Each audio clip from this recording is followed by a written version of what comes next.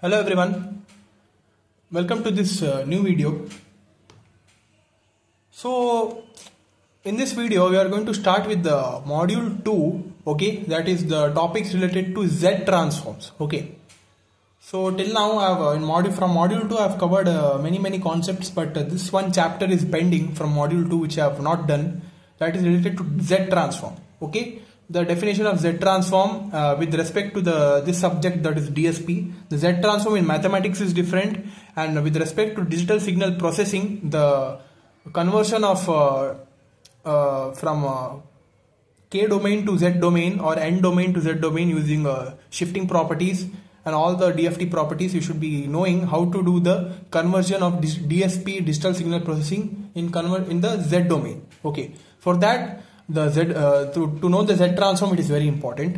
So in this uh, session i'm just going to do the introduction part of z transform. How basically to solve the problems related to z transform what is the definition and some of the simple uh, sequences i'm giving you to convert it how it looks like to convert it in that sequence to the z domain. Okay just to give you a brief idea about it i'm not going to solve any problems. I'm just going to show whatever is written in the notes and try to explain it to you all this whole uh, chapter itself z transform. Okay.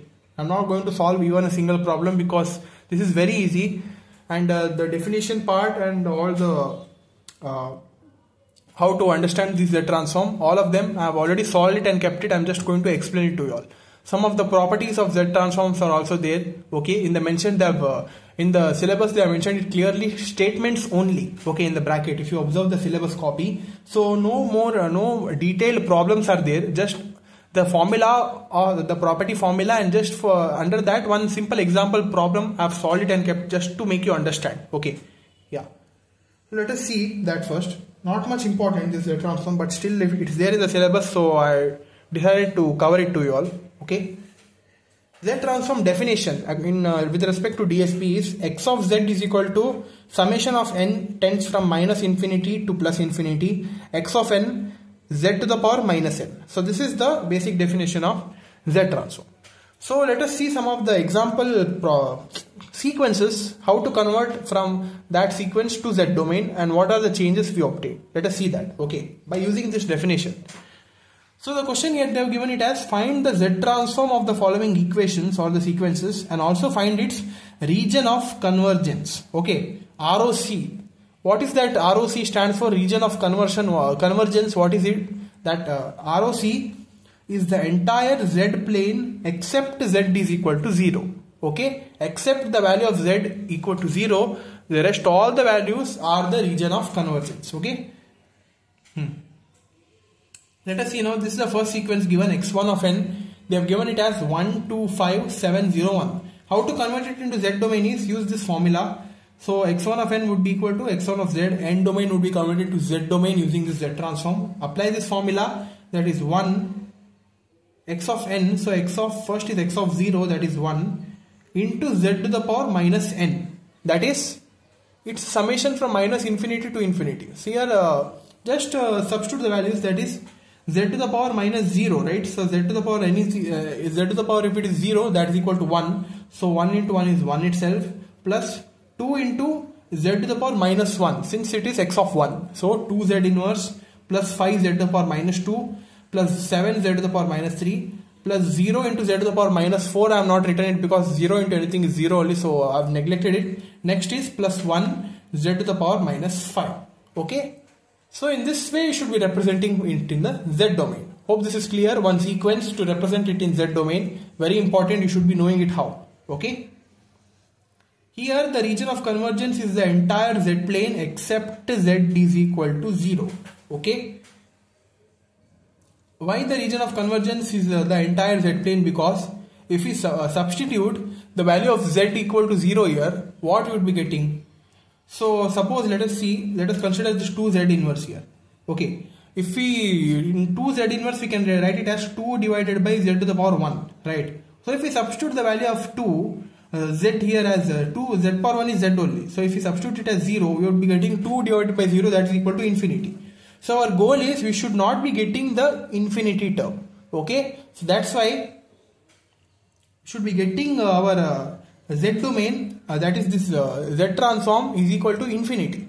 Okay. So here the one term if we substitute is infinity here also all of them would be equal to infinity. So infinity plus 1 is infinity only. So except z equal to 0 the uh, for all the values of z we won't be getting the answer as infinity. Okay. So that's why the region of convergence is the entire z plane except z equal to 0 our goal is you should not be getting infinity in the equation. If we get infinity uh, that is not that does not come under the z plane. Okay? Hope it is clear. So let us see few more problems. X2 of n is equal to sequence is given the same 1 2 5 7 0 1 but here they have mentioned the arrow mark. Okay? If suppose if they mention one arrow mark in the sequence what which that arrow mark indicates the zeroth point. Okay? That is here the value of uh, here the value of n would be equal to 0 okay this is the zeroth point. This is minus 1 minus 2 minus 3 uh, according to the definition 0 first second third. This is minus 1th term. This is minus 2th term. Okay whenever this arrow is indicated. So what would be the uh, z, z transform? That is z square. That is 1 into z square. Since this is minus 2 according to definition z to the power minus n. Minus of minus 2 that would be z square. Right similarly here this is minus 1th term. So 2 into z to the power minus of minus 1 is plus 1 so we will be getting 2z plus this is the zeroth term. So 5 into z power 0 is 5 itself. Plus 7z inverse plus 0 z power minus 2 plus z to the power minus 3 so this is z x2 of z. So here in this case the region of convergence ROC is the entire z plane except z is equal to 0 and infinity we here we are why we are having uh, the value of z as 0 as well as infinity? Because if you observe in this equation carefully we have some of the positive powers and the negative powers. If here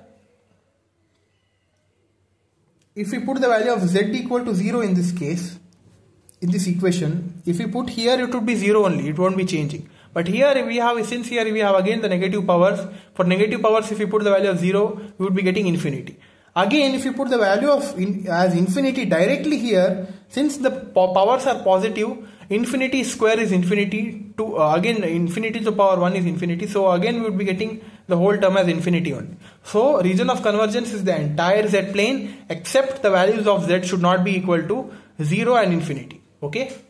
Yeah. Next is again uh, again we have some questions here. Okay.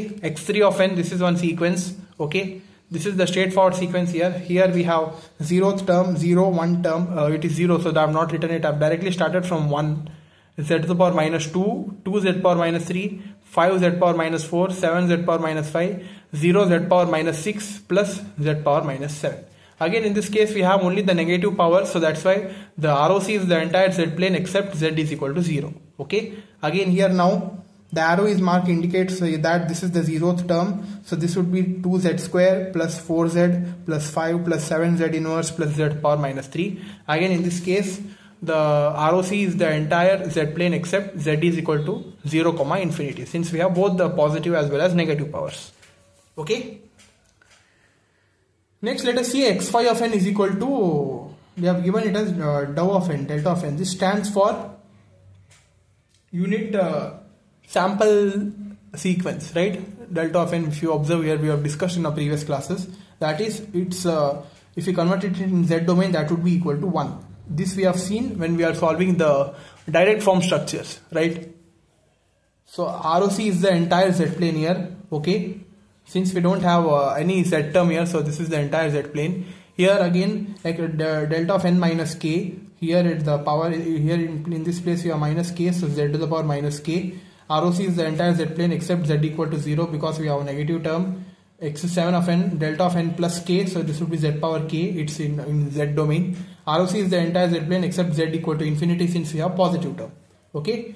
Next is x8 of n is equal to delta of n plus 7 delta of n minus 1 plus 8 delta of n plus 2 if you convert it in z domain the answer is 1 plus 7 since we have n minus 1 so z inverse eh, plus 8 uh, since we have n plus 2 so z square okay this is ROC is the entire uh, z plane except z is equal to 0 comma infinity again since we have both positive and negative powers okay yeah so hope these things are clear how to solve these simple uh, equations. These are the, some of the basic points you should be remembering for Z transform. Okay, with some examples I've uh, tried to explain it to you all.